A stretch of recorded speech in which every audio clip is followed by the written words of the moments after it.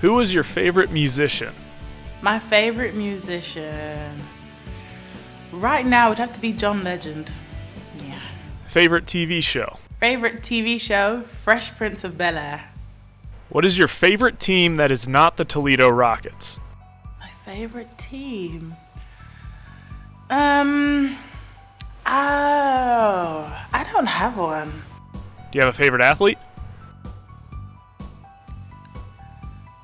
Oh, Kyrie Irving. Mm. Do you have any nicknames? People call me. My ratchet name is Janitha. Um. Oh, and my grandma name is Janny. So I have two. What is the biggest difference between living in America and Britain? Um, I would say the football culture because number one we call it soccer, and then I didn't understand the game at all, and everyone was really hype about football season, and I didn't know what it was. so that was the biggest thing because now I love it, and I'm, I've become American in that sense. Yeah.